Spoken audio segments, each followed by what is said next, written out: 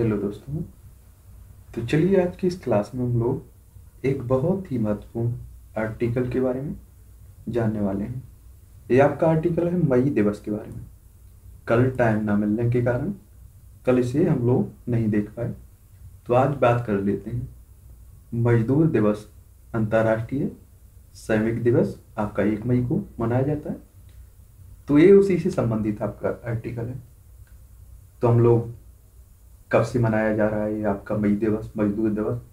इसे भी देख लेंगे और मई दिवस और भारत के बारे में जान लेंगे। और हिंदुस्तान मजदूर किसान पार्टी के बारे में जान लेंगे। एक आपकी पार्टी बनी थी, हिंदुस्तान मजदूर किसान पार्टी। तो इसके सभी पक्षों को लगभग हम लोग देख लेंगे।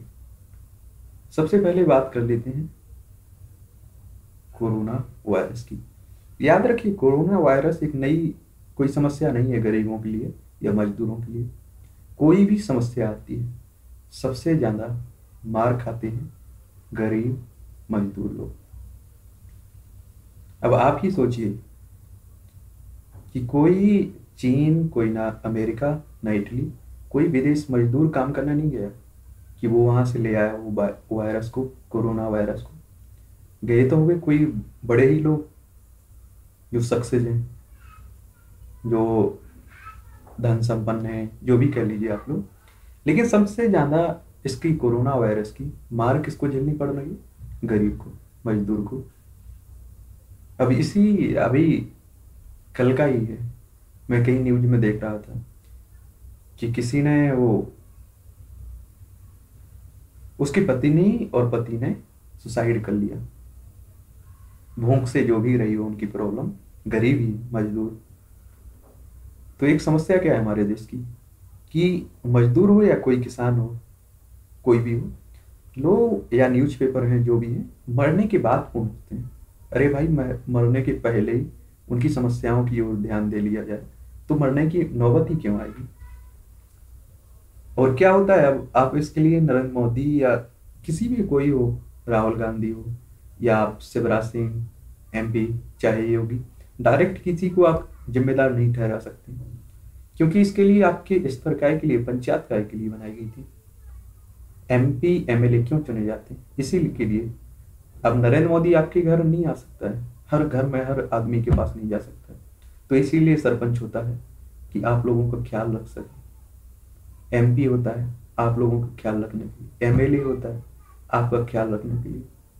लेकिन क्या है? एक सरपंच के बारे में मैं पढ़ रहा था अभी। तो अधिकतर सरपंच तो इसी कैटेगरी के हैं कि जो आपकी बाथरूम आई, लेटरिंग आई थी और जो आवास आए थे, इनमें से मैंने सुना है कि डेढ़ लाख के करीब एक लाख पचास हज़ार मिलते हैं। उसमें से पच्चीस हज़ार, पच्चीस से तीस हज़ार यही खा जाते हैं। कौन? यही लोग ले जाते हैं। सचिव हो गया, सरपंच हो गया। और आपने लाल बहादुर शास्त्री का नाम सुना होगा हमारे प्रधानमंत्री रहे। तो कहते हैं कि उनके पास कार खरीदने के लिए पैसा नहीं रहा है कभी। जब उन्होंने कार खरीदी तो बारह हज़ार के करीब उन्होंने लोन लिया था। और जो उनके मरने के बाद भी नहीं चुका पाए वो मर गए उसके बाद इंदिरा गांधी सरकार आई तो इंदिरा गांधी ने माफ़ किया था। और आज देख लीजिए अगर एक सरपंच बन गया तो उसकी आने वाली दो चार पीढ़ी खाती रहेंगी उसी से। खैर, छोड़िए, भगवान ही है सबका मालिक। तो चलिए, ये आपको सब पेपर में नहीं लिख देना है आंसर राइटिंग में। ये तो मैं व्यवहार में बता रहा था कि ये हाल है हमारे देश का। अब देखिए अब इस पर भी ध्यान दे लीजिए। कोटा, राजस्थान। किसी भी जगह फंसे हुए हैं, कोई भी। तो अमीर लोगों ने तो अपने बच्चे हो या कोई भी हो, निकाल लिए ना। लेकिन गरीब लास्ट तक मरते रहे। और एक दिन कोई भी हो, गरीब की हालत कोई नहीं समझ सकता है। समझ रहे मई दिवस। भारत में पहली बार एक मई 1923 को मई दिवस मनाया गया था। कब? एक मई 1923 को। जिसमें लेबर किसान पार्टी ऑफ़ हिंदुस्तान ने इसकी शुरुआत तथा कॉमरेड सिंगार वेलन ने इस समारोह का आयोजित किया था। पहली बार मई दिवस के बारे में हम लोग बात करें। यानी कि एक मई मई दिवस है, जिसे दुनिया के विभिन्न हिस्सों में अंतर्राष्ट्रीय सैनिक दिवस के रूप में भी जाना जाता है। यह एक ऐसा अवसर है जो सैनिकों के योगदान और ऐतिहासिक श्रम आंदोलन का स्मरण कराता है। ट्रेड यूनियनों और समाजवादी समूहों ने इसे मजदूरों के समर्थन में एक दिन के रूप में नामित करने के बाद 19वीं शताब्दी के आंदोलन में के रूप में माना है। संयुक्त राज्य अमेरिका में शिकागो में एक मई अठारह सौ छियासी के हेमार्केट मामले की स्मृति में ऐसा करने का निर्णय लिया गया। जिसमें कार्यकर्ताओं के समर्थन में, एक शांतिपूर्ण रैली में पुलिस के साथ हिंसक झड़प हुई जिसमें चार नागरिकों और सात पुलिस अधिकारियों की मौत हो गई।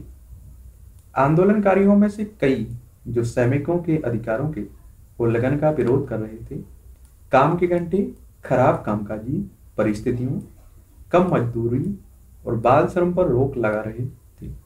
उन्हें गिरफ़्तार कर लिया गया। और उन्हें आजीवन, कारावास, मौत की सजा इत्यादि की शर्तें दी गई। और जो लोग मारे गए थे, वे आंदोलनकारियों में से थे। ऐसा माना जाता है कि इस घटना ने मजदूरों के आंदोलन को एक बड़ी प्रेरणा दी।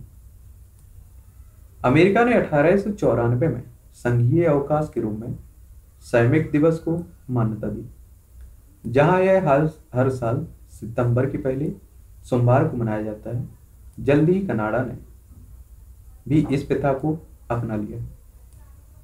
अठारह में समाजवादी और सैनिक दलों द्वारा बनाई गई संस्था, द सेकेंड इंटरनेशनल ने घोषणा की कि एक मई को तब से अंतर्राष्ट्रीय सैनिक दिवस के रूप में मनाया जाएगा।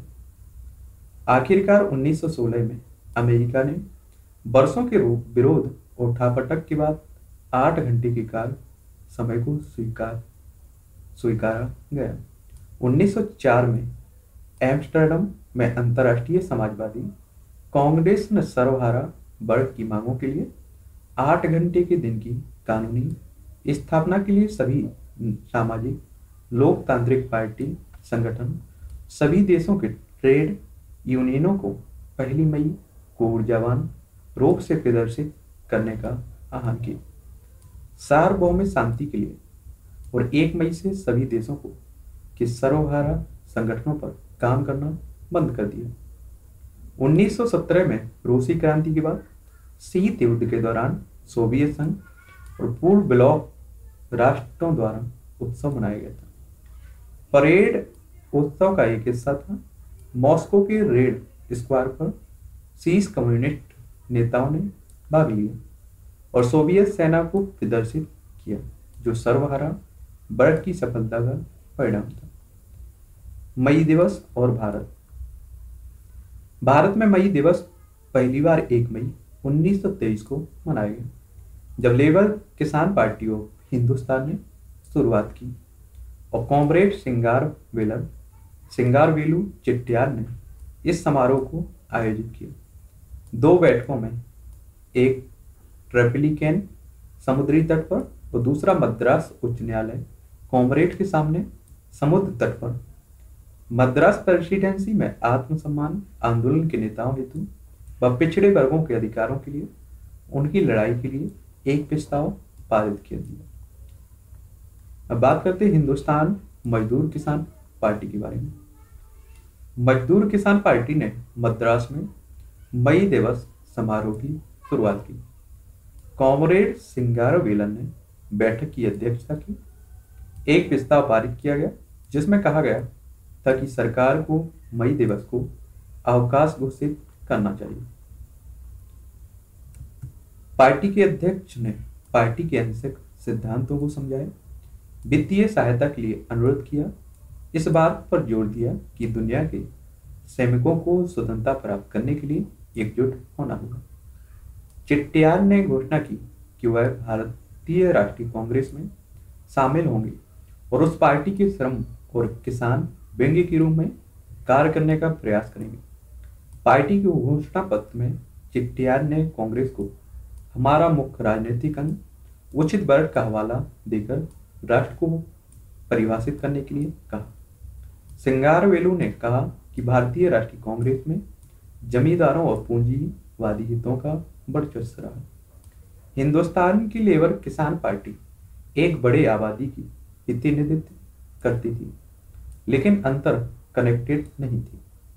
अतः विभिन्न भारतीय कम्युनिस्ट समूहों द्वारा एक जन आधारित राजनीतिक मंच खोजने के लिए कदम उठाए party S A Dange, Dange Punjab में कम्युनिस्ट समूह में शामिल हुई थी। डांगे ने शुरू में एल के पी एच और चेतियाल द्वारा तैयार किए गए। अपने कार्यक्रम पर मतभेद व्यक्त किया, लेकिन एक बार पार्टी बनने के बाद वह इसमें शामिल हो गए। दिसंबर 1923 में चिट्टियाल ने एक पाक्षिक पत्रिका शुरू की, जिसका नाम था the labour Kisan gazette. Chettiar ने तमिल वीकली थोजी लालल थोजीलाल भी शुरू किया, जिसमें उन्होंने 1920 के दशक के शुरुआती दिनों में दुनिया के विभिन्न हिस्सों में फैले मजदूर वर्ग की आंदोलन के बारे में लिखा। सिंगार वेल्यू ने भारतीय कम्युनिस्ट पार्टी के 1925 के कानपुर सम्मेलन में पार्टी के सम्मेलन की घोषणा की थी। तो ये था आपका पूरी कहानी मई दिवस के बारे में, ठीक? एक बात आप लोग हमेशा समझ लीजिए कि कहीं भी आपको अगर आंसर राइटिंग अलग बात हो जाती है, ज़िंदगी में उतारना अलग बात हो जाती है। हकीकत कुछ और होती है, लेकिन हमें लिखना कुछ और पड़ता है। हकीकत यही है, मानिए या ना मानिए। अब आप जो भी सरकार की किसी की बुराई नहीं लग सकते हैं डायरेक्ट आंसर राइटिंग में। आपको पूरा बैलेंस बनाकर चलना पड़ता है। लेकिन रियलिटी कुछ और होती है। सब लोग समझते हैं, बस बैलेंस बनाने के लिए। तुम्हें तो परीक्षा पास करनी है ना। तो आप लोग अच्छी बातें लिखा करिए, बैलेंस बनाकर। वरना रियलिटी यही है कि हर कोई भी समस्या हो, कोई चाहे आपदा आए, वायरस आए, बीमारी आए, लेकिन सबसे ज़्यादा प्रभावित इससे होता है तो गरीब मजदूर। ठीक है? चलिए। ठीक है?